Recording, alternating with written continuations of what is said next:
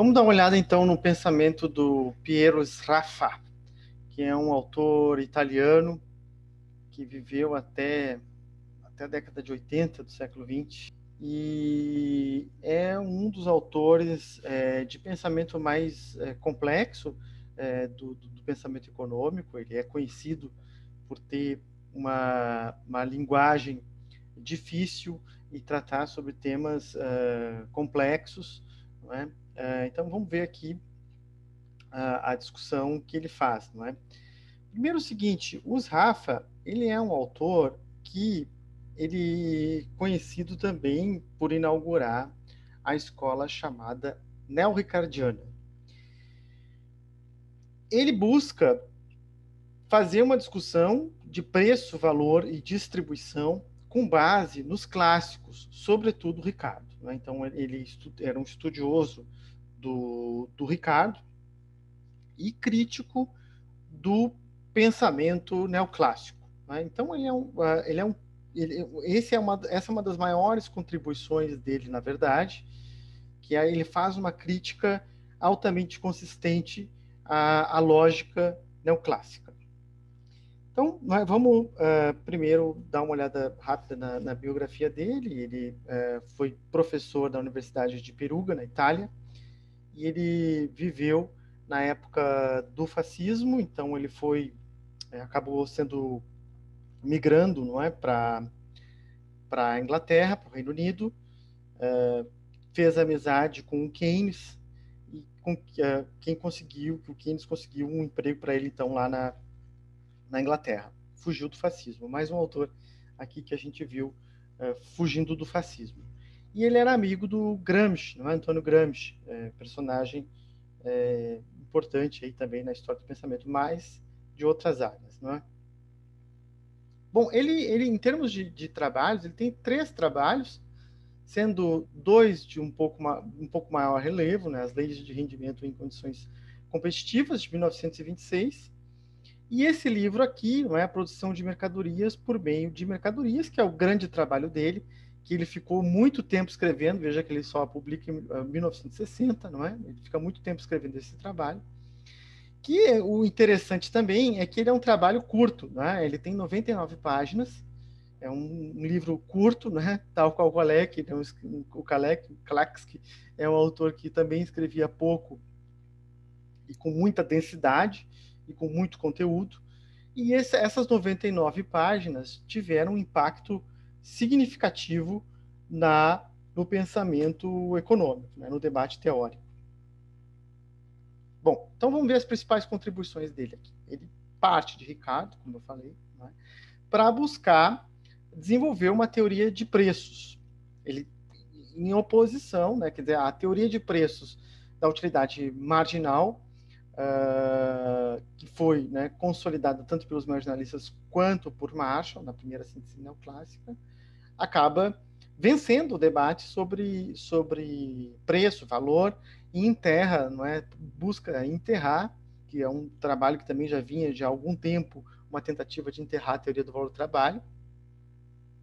E uh, Marshall e os, e os marginalistas acabam, uh, em certa medida, vencendo esse debate ele retoma esse debate, é? É, fazendo uma crítica, então, é, tanto à formação de preços por oferta e demanda, tanto quanto à, à, noção de rendimentos decrescentes, que está presente no pensamento neoclássico, como a gente vai ver a seguir, uh, quanto ao conceito de capital dos neoclássicos e também a formação de preços através da utilidade.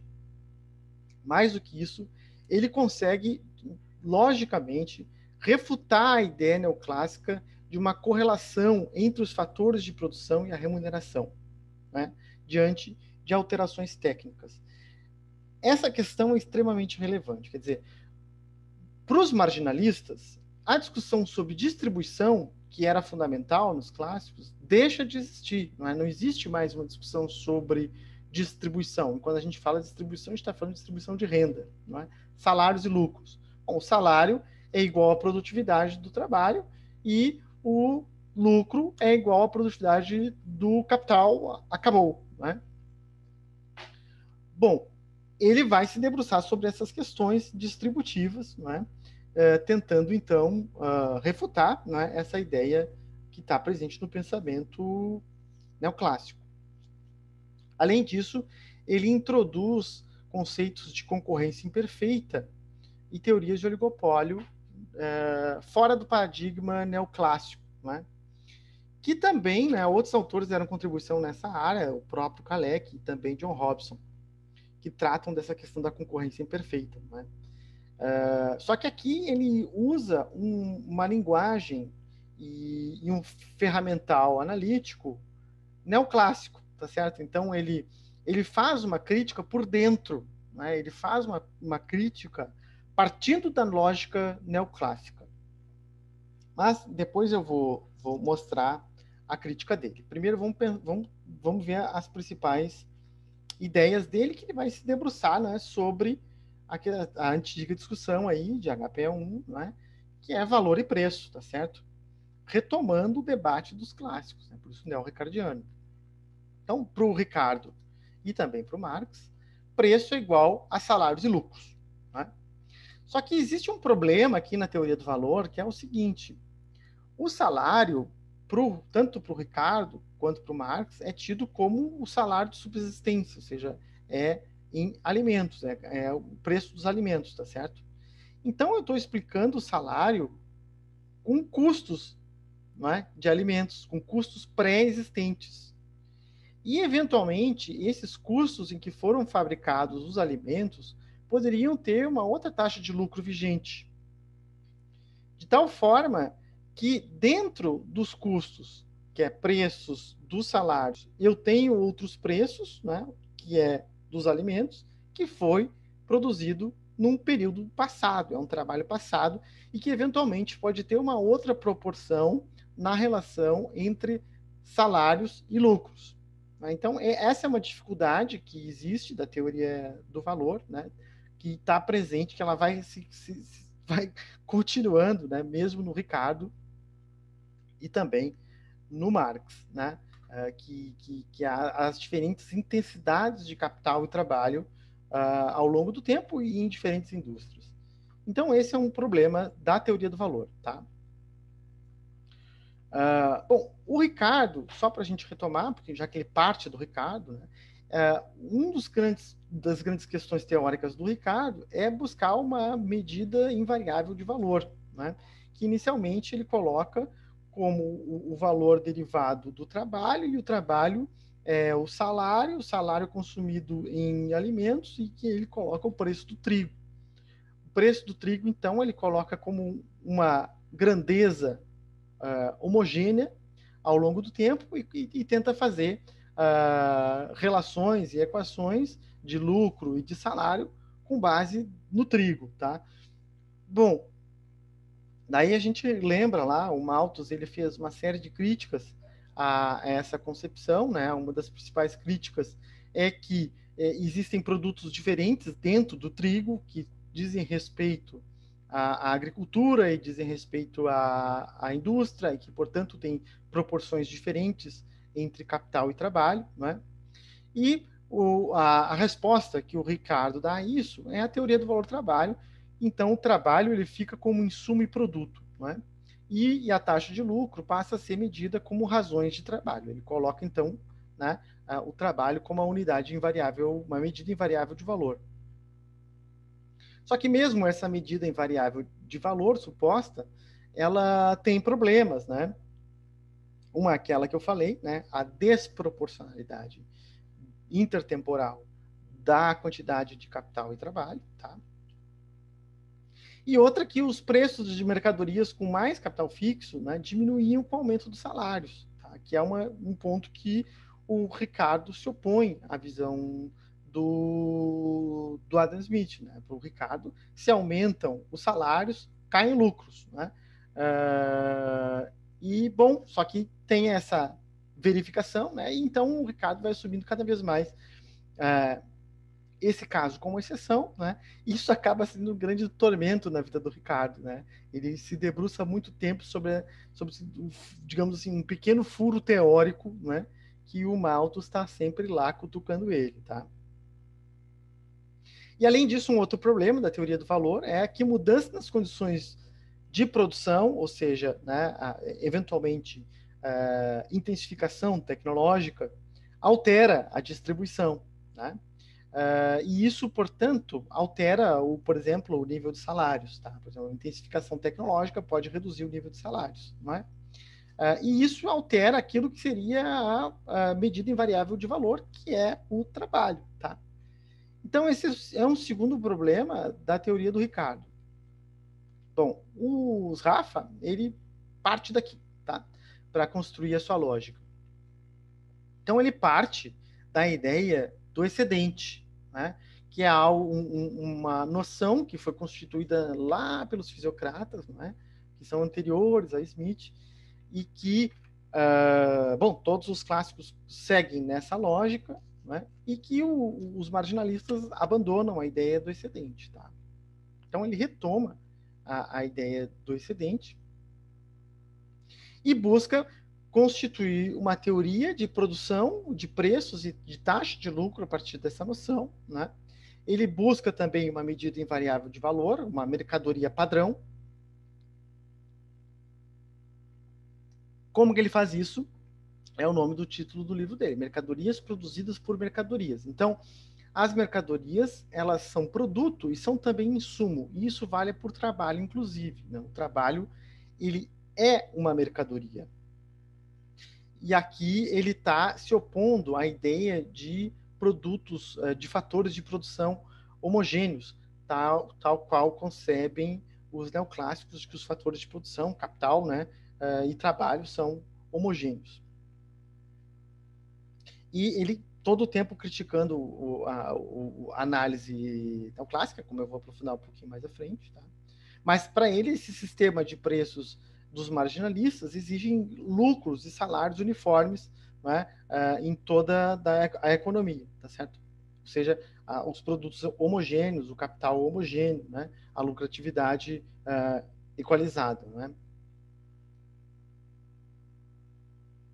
Bom, para os RAF, então, o trabalho é uma mercadoria e é um insumo né, que pode ser desdobrado em uma outra mercadoria, que é o trigo, a lógica aqui do Ricardo. Né?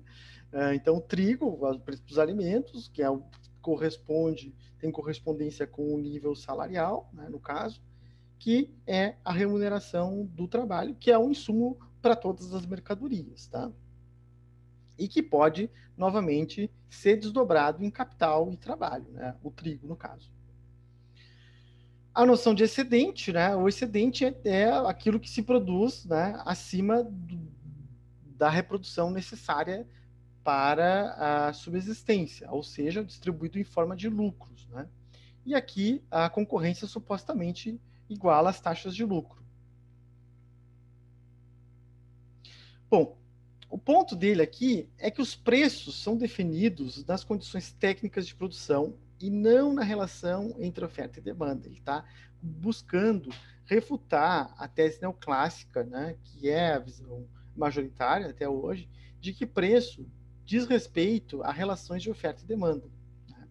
Ele diz que não, né? o que determina os preços são as condições técnicas, ou seja, a intensidade de capital com relação a trabalho, né? a relação K sobre L, que é algo que, que é um conceito importante aqui, né?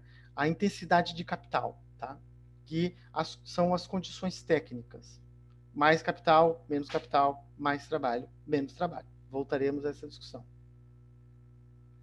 E ele faz uma análise conjunta da formação de preços e da formação de lucros e dos salários. Para ele, há uma mutualidade nessas uh, formações de preços, tá certo? Então, uh, através da lógica do excedente, esses preços são uh, formados conjuntamente. Veja, né, ele está discutindo preço e distribuição. Ele está retomando a lógica de distribuição que para os para os marginalistas é, diz respeito apenas à produtividade, o salário é igual à produtividade, acabou. Né? Ele está dizendo não, né? o salário é determinado conjuntamente com a lucratividade. Simultaneamente, né? é, esses preços são dados. Então, se você tem, por exemplo, dado uma, uma taxa de salário, uh, e a partir dessa taxa de salário se formam a taxa de lucro e os preços conjuntamente. Ou, de outra forma, se eu tenho fixado a taxa de lucro previamente, é determinado né, o nível de salário e o nível de preços. Assim, ele faz todo uma, um desenvolvimento matemático, matricial, de equações altamente complexas, que eu não vou reproduzir, para dizer que há uma determinação lógica na formação de preços, lucros e salários, uma interdependência dessas dessa formação. Ou seja, é? está dizendo que a distribuição, né, é, ela é determinada na formação desses preços que dizem respeito às condições técnicas, ou seja, na intensidade de capital. Essa essa relação aqui que eu falei é fundamental, né? A relação entre capital e trabalho. Ou seja, a intensidade de capital é você colocar mais capital você aumenta a intensidade de capital. Né? Se você uh, emprega mais trabalho, né, você está reduzindo a intensidade de, de capital. E para ele, essa variável é fundamental para determinar a distribuição. Né? Então, acaba sendo é, esse o ponto dele aqui, tá? Então, né, a, as variações de salários vão né, uh, depender das proporções de trabalho e de insumo das mercadorias em sua produção. Né? No caso aqui, a relação de trabalho e insumos capital. Tá? Então, esse é o centro da discussão. Né? Mudanças dos, dos, preços quando há alterações na distribuição. Ou né, que dialoga um pouquinho né, com, com, com o CALEC, tá certo? Que uh, alteração na distribuição afetam né, uh, aqui uh, outras variáveis. Tá? Então, essa é a centralidade da, da discussão. Então, para diferentes combinações de capital e trabalho, né, haverá sempre um composto padrão, que ele busca justamente essa, essa, essa mercadoria padrão, né, e esse composto padrão, né, essa medida invariável padrão. Então, a taxa de lucro ela é, ela é uh, determinada à medida que a gente sabe a relação entre o excedente e os meios de produção, ou seja, todo o excedente produzido e o, e o volume de capital que foi uh, colocado naquele setor. Né? E também uh, a proporção de salários né? Uh, nessa, nessa economia. O ramo padrão que ele busca aqui né, desenvolver é, é aquele que utiliza as mercadorias básicas na produção de todas as mercadorias, que a gente podia fazer uma analogia aqui com o trigo. Até tem uma piada, né, que o pessoal sempre faz, que sempre tem que converter tudo para trigo, tá certo? É uma piadinha assim que o pessoal sempre faz sobre, sobre os, os rafianos, né, ou sobre os neo-ricardianos, quando vai pensar em uh, qualquer lógica, não, quanto, quanto dá em trigo? é uma brincadeira, né? tá? Mas assim, a, a, ideia de ter uma mercadoria básica, né? A mercadoria básica que está em todas as mercadorias, né? Uh, bom, ela é essa que é fundamental a gente entender a variação de preço dessa, né? Porque essa sim, essa mercadoria afeta os preços gerais e a taxa de lucro, tá? No caso, o preço do trigo afeta os que está tá lá na lógica do Ricardo, se a gente lembrar, né?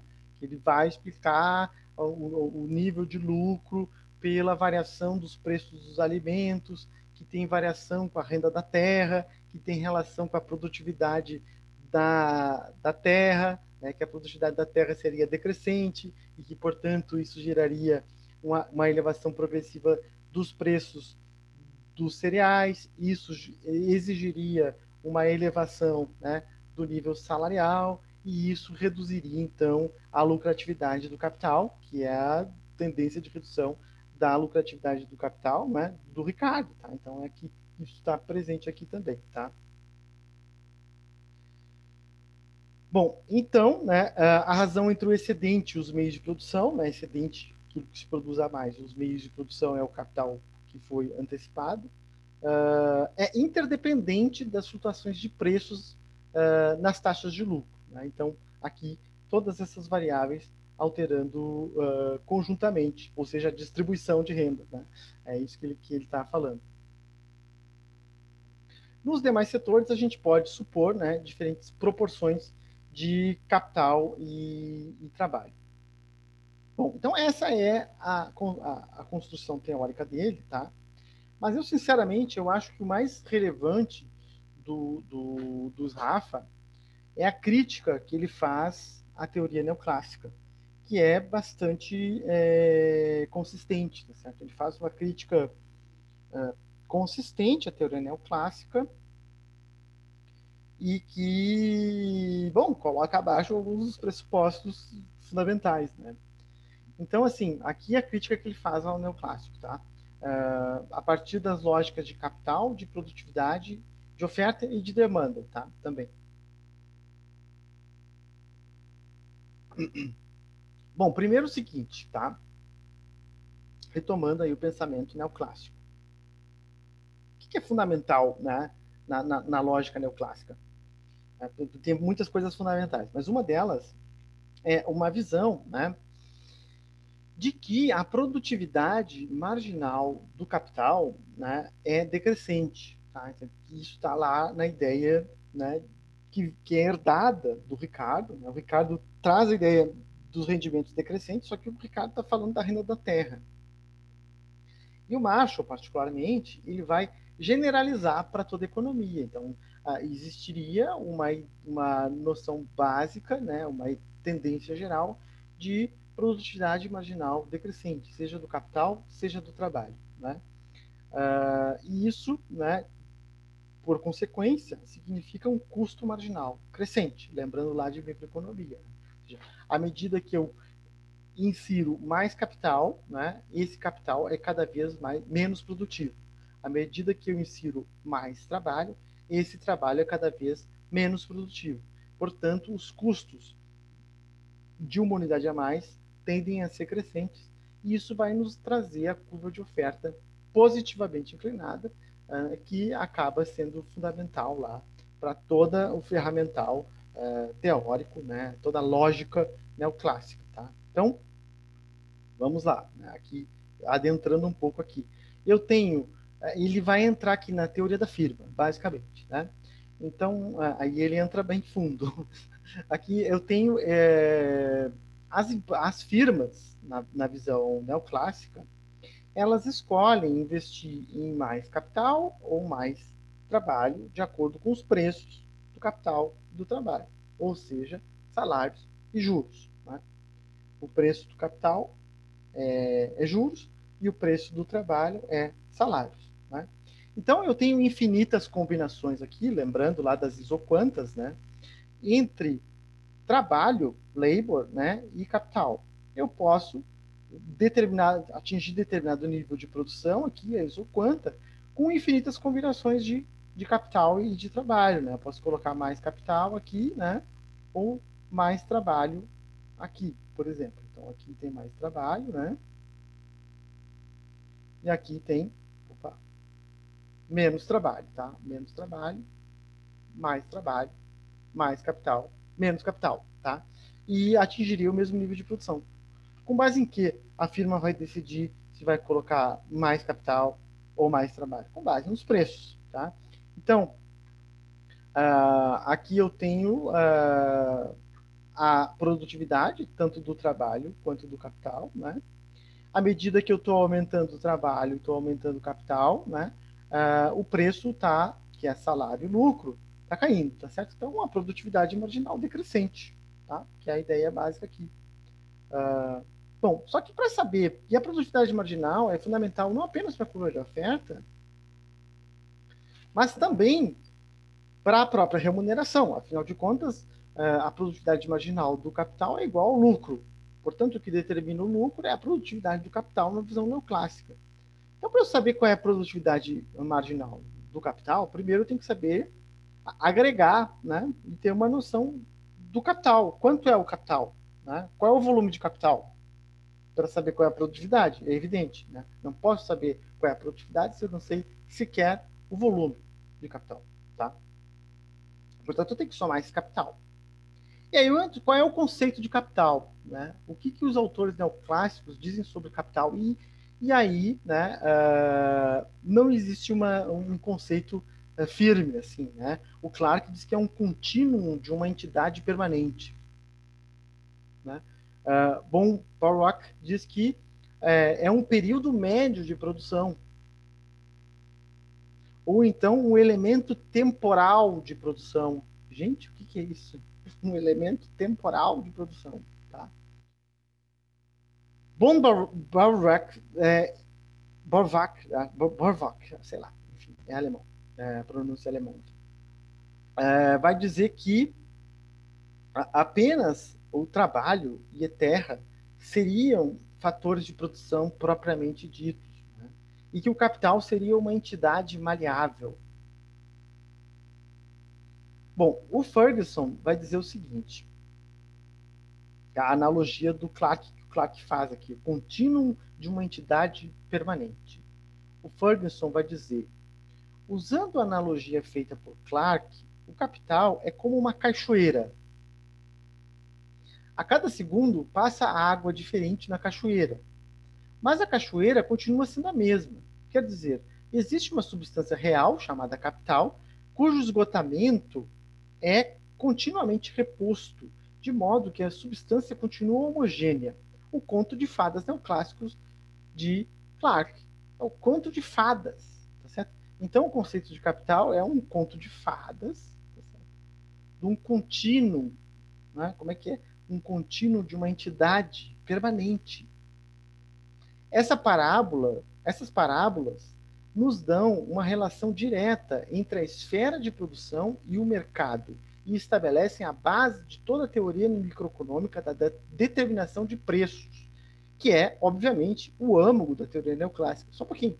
O âmago da teoria neoclássica está na determinação dos preços, que é baseado numa entidade, como é que era? Uma entidade é, permanente, num contínuo de uma entidade permanente, ou num tempo médio, ou num conto de fadas. Que história é essa? Tá certo? Está criticando que não existe um conceito de capital, não existe uma mensuração do capital, e eu estou supondo que o lucro igual à produtividade de um algo que eu não sei quanto é. Tá certo? Bom, guarda essa crítica. Além disso, uh, as decisões de investimento nas isoquantas têm relação com a quantidade, com, com o preço do salário e o preço do capital que no caso, o preço do trabalho, que é salário, o preço do capital, taxa de juros. Né?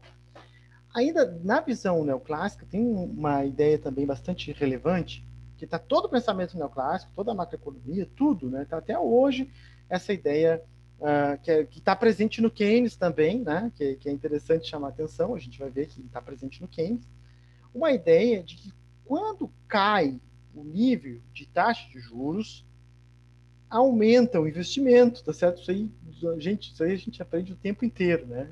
Qualquer, qualquer equaçãozinha lá, ou qualquer modelinho, né, vai ter uma noção de que se cai o nível de taxa de juros, aumenta o nível de investimento.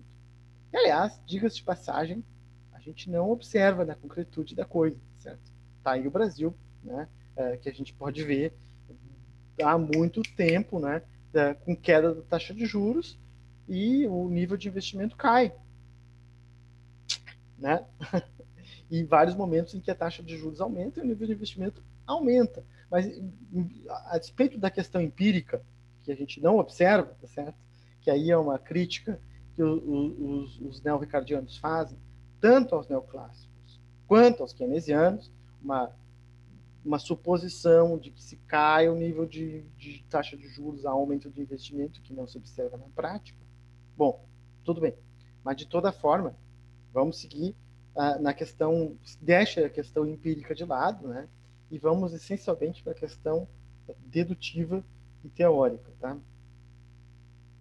Bom, então, assim, supondo que né, a produtividade marginal do capital seja decrescente, se eu coloco mais capital, esse conto de fadas, essa aproximação útil, mas que é satisfatória para né, a gente teorizar aqui, é, vai fazer com que é, caia a produtividade do capital, né?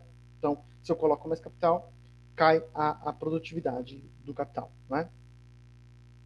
E as escolhas vão ser relacionadas com as, variação de, com as variações de preços, né? é, salários e juros. Né? Então, se, se os juros muda para baixo, por exemplo, eventualmente, supostamente, eu vou investir mais capital e menos trabalho. Na lógica neoclássica. Se os salários caem, que isso é fundamental também para o neoclássico, o salário cai é o quê?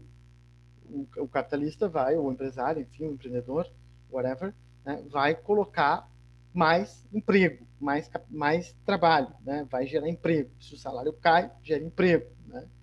É, e se a taxa de juros cai, né, eu emprego capital, tá certo? Então, ou seja, variação de preços para baixo dos insumos geram elevação de oferta?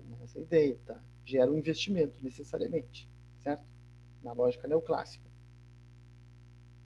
Bom, então, variação nos salários ou variação na taxa de juros vai fazer com que na isoquanta lá eu vou colocar ou mais capital, né, ou mais trabalho, né?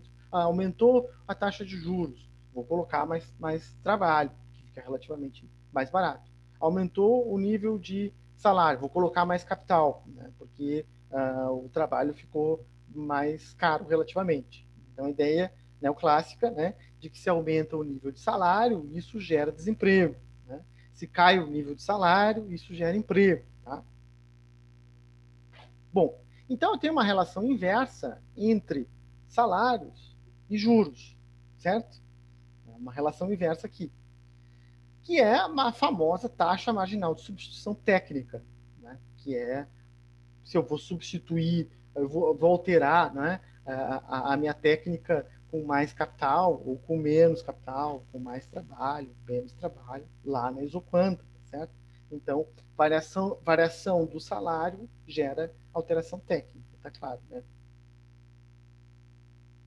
Bom, isso eu estou partindo do, daquele conceito de capital que é o tempo médio de produção, né? Tá, muito bem. Aqui é o ponto né, é, central da crítica dele. Então, assim, para eu decidir se eu vou investir mais capital ou mais trabalho, eu preciso saber a intensidade de capital com relação ao trabalho naquele setor. Né? É claro. Como é que eu vou fazer uma decisão se eu não sei né, qual é a, a, intensidade de capital. Então, eu tenho que saber a intensidade de capital. Né? Se eu tenho proporções fixas nas relações de capital-trabalho, né, eu vou ter é, técnicas de trabalho que vão ser é, lineares, né, com proporções fixas.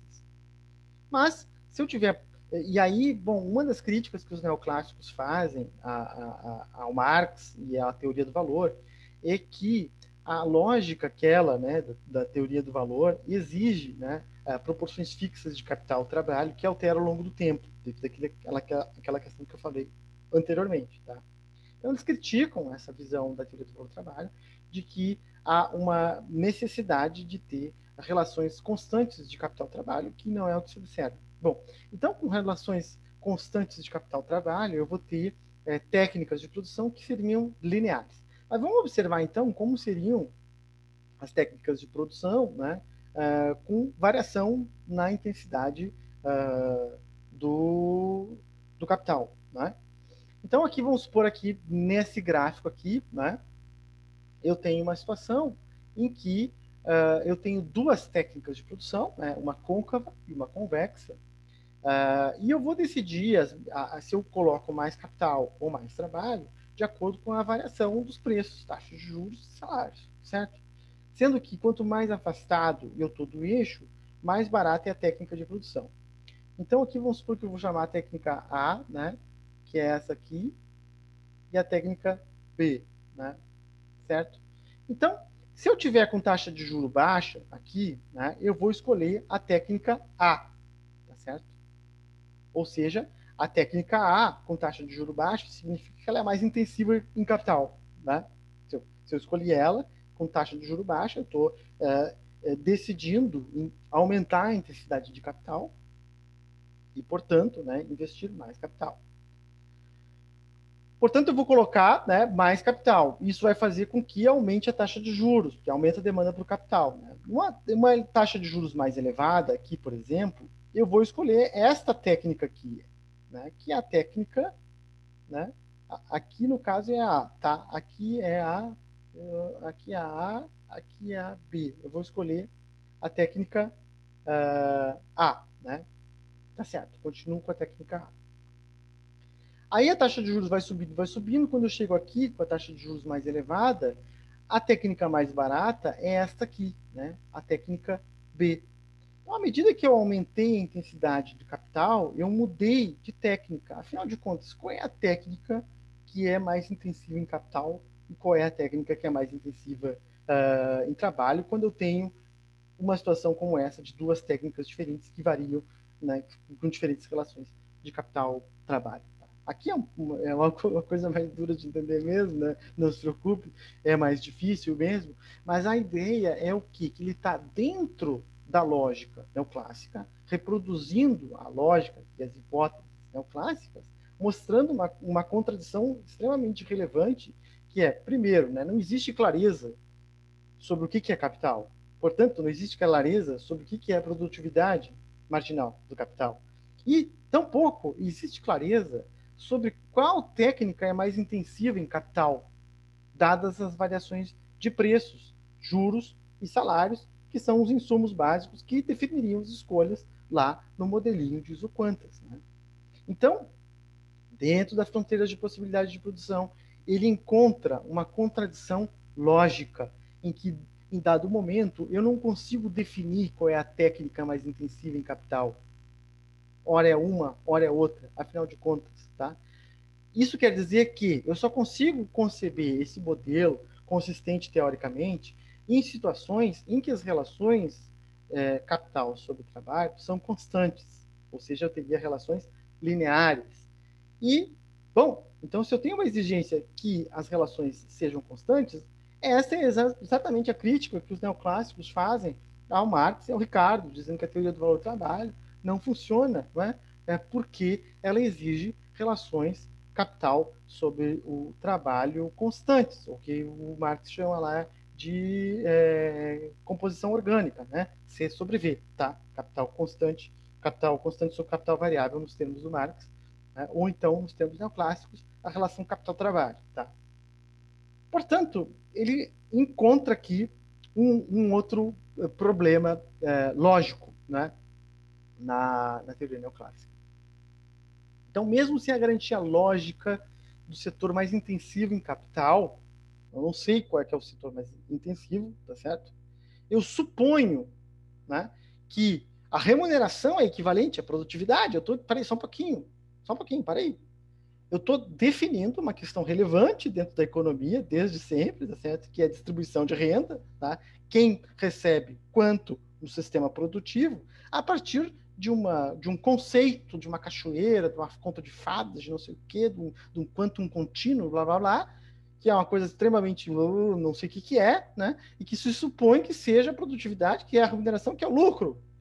Então, que maluquice é essa? Mesmo que, dentro do modelo, tá certo? A, a definição, se o, se o, se o capitalista, o empreendedor e tal, vai colocar mais capital ou mais trabalho, afeta o nível de preços do salário, né? E da taxa de juros, que é a lógica neoclássica também, né? Se eu emprego mais gente, isso faz aumentar o salário. Se aumenta o salário, alterou a distribuição, né? Então, as decisões dos, dos empregadores afetam a distribuição, a remuneração dos fatores de produção. Então está afetando a produtividade? Como assim? Tá, essa, essa, essa crítica aqui é brilhante, tá certo? A decisão dos empregadores de empregar mais capital afeta a distribuição. Portanto, como é que, como é, que é, é a, essa distribuição é dada pela produtividade? Então, a, a decisão dos agentes, uh, dos empregadores, afeta a produtividade, é isso? Se está uh, colocando mais, mais mais trabalho, isso está aumentando necessariamente a produtividade do trabalho, tá? Assim, as decisões de investir em capital em trabalho interferem na distribuição, São elas, e aqui é o ponto, que determinam a distribuição. Não é a produtividade. São as decisões, ou seja, se os capitalistas, os empreendedores, coletivamente, empregam mais gente, isso aumenta a participação dos salários. Se eles colocam mais capital, isso reduz a participação dos salários. Portanto, não é a produtividade, tá certo? Ai, ai. Então, é, essa aqui é brilhante, né? Só existiria lógica né, de compreender que a produtividade marginal do trabalho é igual ao salário se as decisões dos agentes não interferissem no nível de salário e nem no nível de juros, que não é o caso. Tá? Portanto, eu tenho uma impossibilidade de medir o capital com uma magnitude independente da distribuição dos preços. As decisões dos capitalistas afetam preços e afetam distribuição, afetam a proporção de, que cabe aos lucros, que cabe aos salários. Essa é a questão, tá? Aqui, é, bom, né, uma crítica extremamente poderosa que ele faz, consistente dentro da lógica neoclássica, né? Então, existe uma inutilidade nesse conceito de capital, de produtividade, de produtividade dos salários. Isso aí, desculpe, tá, gente, mas isso é balela, né?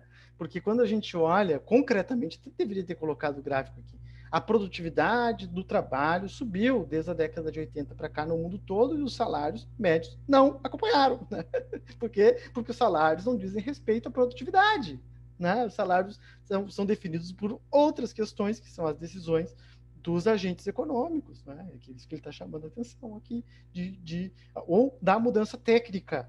Se eu tenho mudança técnica, se eu tenho avanço técnico, isso afeta o nível de salários. Eu criei lá o Uber, tá certo que eu quero fazer propaganda aqui, os aplicativos de, de, telefone, isso afeta o nível de renda dos taxistas, tá certo? Não é porque a produtividade deles caiu. O taxista em Seul, ele não é mais rico do que o taxista em Porto Alegre porque ele é produtivo. Ele é mais rico porque a renda per capita lá em Seul é maior, porque Seul é uma cidade dentro de um país, que é a Coreia do Sul, que é altamente exportador e que tem uh, mais vantagens né, nas exportações de setores de alta tecnologia, e isso faz com que o nível de renda médio seja mais elevado, e, portanto, o taxista em Seul ganha mais do que um taxista em Porto Alegre. Não é porque a produtividade é diferente. Portanto, ele coloca abaixo a, a lógica distributiva neoclássica. Né? Então, é uma inutilidade a gente medir o capital como um período de tempo, né? como dizem os austríacos, uh, Bonn, Barock e Wixel. Tá? Então, ele critica o conceito de capital, que os próprios autores neoclássicos constituem, é, como um fator de individualidade de grandeza mensurável, não é mensurável que seja interdependente do nível de preços e da distribuição, da remuneração dos fatores de produção.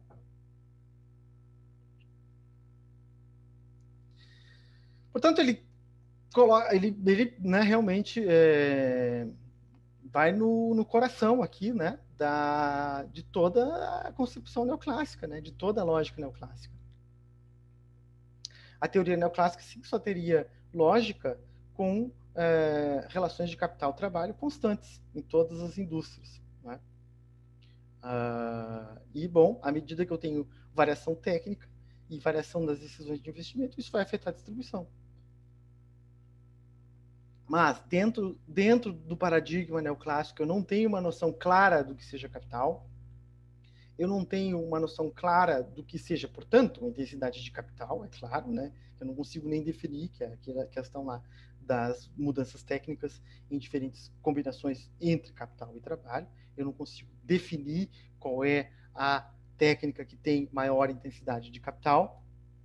E, portanto, eu não tenho clareza sobre o que é a produtividade marginal do capital que seria o que me daria o nível de lucro. Eu não consigo nem medir capital, quanto mais dizer que a produtividade é igual ao lucro, certo? E, mais do que isso, a mensuração do capital e as suas produtividades não tem consistência lógica, né? Ele destrói logicamente essa ideia, né? Bom, as críticas que os Rafa fez, como eu falei, né, são poderosíssimas. E, e, isso foi a maior contribuição dele, na verdade, foram as críticas. Né? Mais do que a sua construção do seu modelo de preços, as críticas foram muito mais importantes. Né? Porque, de fato, os neoclássicos reconheceram que ele tinha razão, né? reconhecem as críticas dele. Tá? Uh, diz aqui o Paul Samuelson.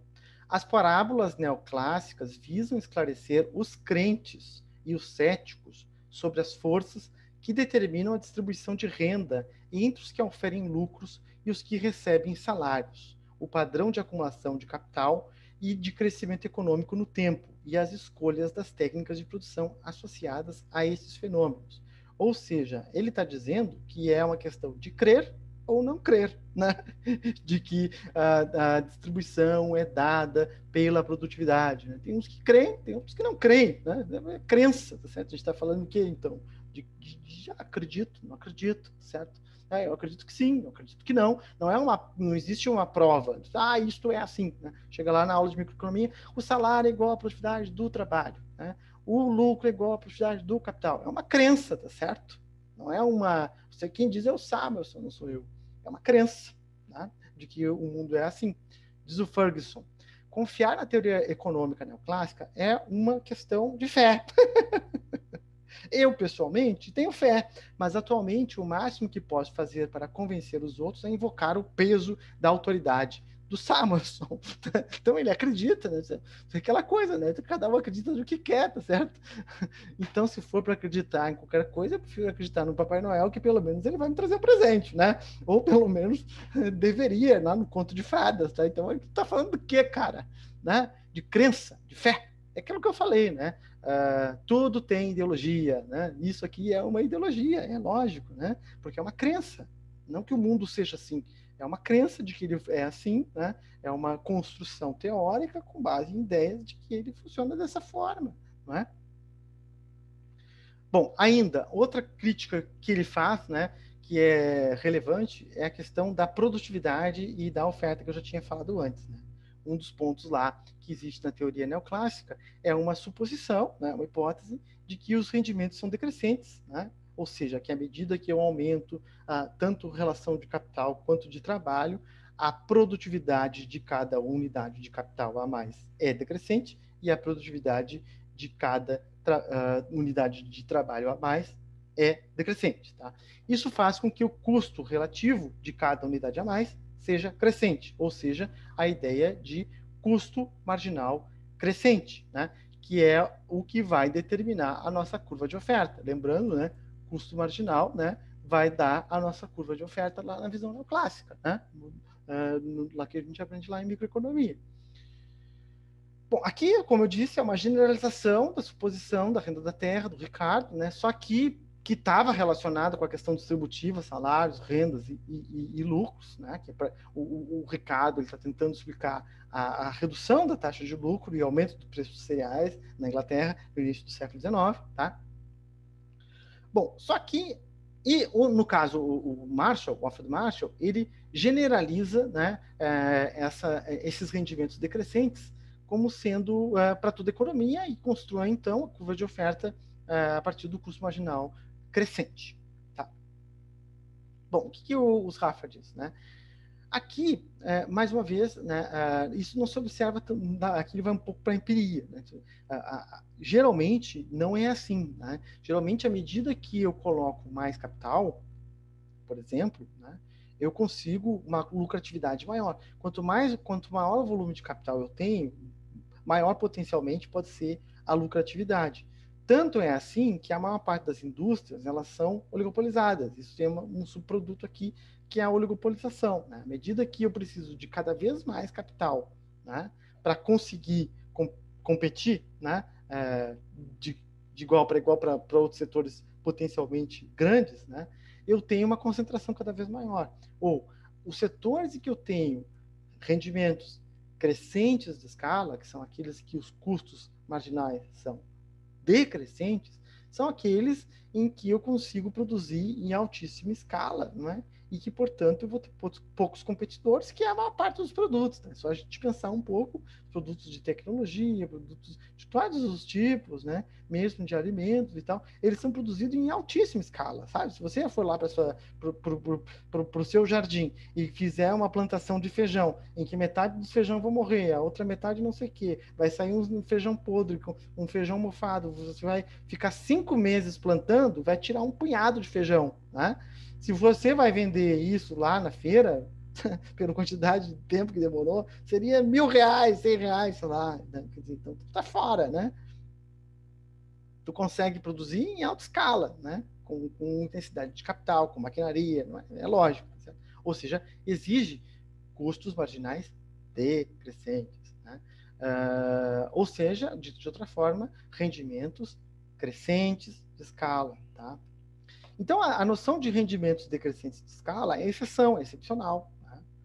A, a, a, gente observa rendimentos decrescentes de escala naqueles setores em que não vale a pena produzir em grande escala, né? que, que, que fica cada vez mais caro. Quais são esses setores? Bom, é difícil até de pensar. Né? Agora, setores que são altamente uh, com, com, altos rendimentos de escala, é fácil de pensar, né? Você não vai conseguir produzir um avião no, no galpão da tua casa, tá certo? Vai ter que ter uma escala enorme, porque isso exige uma intensidade técnica, um volume de capital gigantesco, porque os, os, os custos é, marginais são decrescentes, né? Só que os custos marginais crescentes é uma ideia fundamental para construir a nossa curva de oferta, não é? E a curva de oferta é uma ideia fundamental para explicar a relação de preços. Portanto, se a curva de oferta é explicada a partir de uma hipótese de que os rendimentos são decrescentes, que não se observa na maior parte dos casos, e isso explica preços, então a lógica de preços neoclássica está completamente furada. isso aqui é brilhante também. Tá uma desconexão com a realidade. Né? O preço de oferta não pode ser considerado uh, independente da quantidade produzida na indústria correlata. Ou seja, eu tenho uma impossibilidade de construir uma curva, uma curva de oferta. Ou, dito de outra forma, o modelo ceteris paribus, que é o modelo lá de equilíbrio parcial, mesmo no modelo de equilíbrio parcial lá do Marshall, né, ele só é compatível com retornos constantes de escala e não com retornos é, crescentes de escala. Bom, por fim, a questão da demanda, que ele também critica. Ele está tá tentando criticar que toda a formulação de preços dos, dos neoclássicos, né? tanto de oferta, que ele acabou de criticar, quanto de produtividade marginal do capital, do trabalho, que é a remuneração dos fatores de produção, não é? quanto às decisões das empresas com relação a, a, aos preços de, de, salários e lucros, e, e, portanto, a questão distributiva, que ele também né, é, destrói, né, simplesmente, e a questão da demanda, né, que é uma ideia também de que no longo prazo, né, é, o que, que determina aqui a, a, a, nossas relações de preços e tudo mais, né, a questão da oferta, porque no longo prazo a demanda, né, é, acaba sendo considerada. Então, a oferta, né, você pode alterar todos os fatores de produção, né, e a demanda é infinitamente elástica, tá certo? A ideia de que o que importa mesmo é a oferta, a demanda, se a, se a empresa produziu, ela vendeu, né? Então, produção igual a venda, né? porque, afinal de contas, a economia está no emprego, se você produziu, você aumentou a renda da economia, e isso, né, é, a, na lógica de equilíbrio geral aqui, eu tenho aumento da demanda, né, e, portanto, aqui a, a oferta gera a, a demanda, né, tá? Então, né, só que na verdade, na verdade, quando a gente observa a concretude da coisa, né, há uma dificuldade de expandir a produção que não é dada pelos custos marginais crescentes, né, e sim pela dificuldade de vender o produto, né, com um preço que não caia, né, uh, ou que não tenha uma, um maior dispêndio em comercialização, em propaganda. Então, a, a dificuldade da empresa, que ele está dizendo aqui, não é aumentar a produção, né, é ter quem compre os produtos. Né? Então, uma suposição aqui de que a economia está sendo plena para o emprego e que, portanto, produção é igual a venda, né? Mas só que não, tá? Então, tem, tem, que, tem que ter mais mercado, gente para comprar, né? Ah, tá certo? E que mesmo em concorrência perfeita, por isso que o, o, mercador lá, o produtor, vai buscar diferenciar o seu produto para aumentar o seu mercado, né? Tá certo? Portanto, os produtos não são homogêneos, que é uma hipótese da concorrência perfeita. Mas mesmo na concorrência perfeita, a demanda não é inteiramente elástica, tá? Então ele critica também aqui a visão da demanda. Bom, então, né, é, como eu disse, o, Rafa, né, para fechar aqui, ele é um autor extremamente complexo, é difícil de, de, de entender o que ele está dizendo, né, mas extremamente consistente e, e, lógico? E embora a visão dele não, não tenha assim, uma corrente de seguidores, até no Brasil tem, né? Tem o pessoal lá da UFRJ que, que segue bastante essa, essa lógica do excedente, né? E tal. A partir daqui, né? os chamados neo-ricardianos. Para mim, como eu disse, a principal contribuição dele é a crítica que ele faz à teoria neoclássica, mais do que a, a formulação, uh, a noção de, de, de, preços que ele constitui, tá? Bom, as críticas que ele recebe, tá? Ele recebe uma crítica de se atemporal, né? Ele está fazendo aqui pura abstração, né?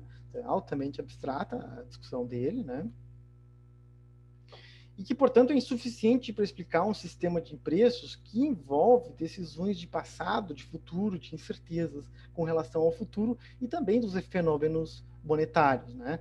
Que é uma, digamos assim, bom, na, na, existe moeda que afeta a economia, né? Que é uma, algo que ele não está não tá colocado aqui as decisões dos agentes, que é os, os keynesianos aí, né? As expectativas e as incertezas com relação ao futuro afetam também a dinâmica econômica, a produção e o nível de renda, né? Uma crítica também de que ele é estritamente conceitual, né? Que ele está falando aqui no modelo, quer dizer, ele está falando na linguagem neoclássica, né? Também aqui por isso que, que, que é uma hipótese, né? E uma dedução, um modelo hipotético dedutivo, em que não dialoga com a realidade, tá certo? Não, não, não encontra, não busca a, a, a, guarida na realidade, é altamente teórico, e ele vai nesse sentido, tá? Bom, mas o que é mais importante mesmo, de crítica, é que, uh, apesar dele buscar uma medida invariável de valor, né, ele esbarra em alguns problemas, tá? Um deles é que ele não admite retornos uh, constantes de escala, tá? Ele assume mais os retornos crescentes de escala. Bom, isso implica que mudanças na distribuição, na, que é salários e lucros, né, não afetariam supostamente a estrutura produtiva, né? E o que prejudica a noção dele de, de mercadoria padrão uniforme, tá? que apenas uh, haveria essa lógica com proporções fixas, que é o mesmo problema que, se, que, que, recaiu ali sobre o Ricardo e sobre o Marx. Tá? Então, é o mesmo problema que continua aqui. Tá? Bom, além disso, né, uh, a distribuição afeta os deslocamentos técnicos. Os deslocamentos técnicos são aquelas variações de decisão das empresas, dadas as mudanças de preços dos fatores de produção, tá? Uh, e, bom, né, isso acabaria por trazer uma impossibilidade de tratar as mudanças técnicas e também distributivas, ou seja, um modelo estanque aqui, né, que é uma crítica, digamos assim, mais uh, relevante para a consistência lógica do trabalho dele. Né? O que não invalida, na minha opinião, as críticas que ele faz uh, aos aos, aos neoclássicos, que talvez sejam as críticas mais uh, importantes que os neoclássicos receberam até aqui.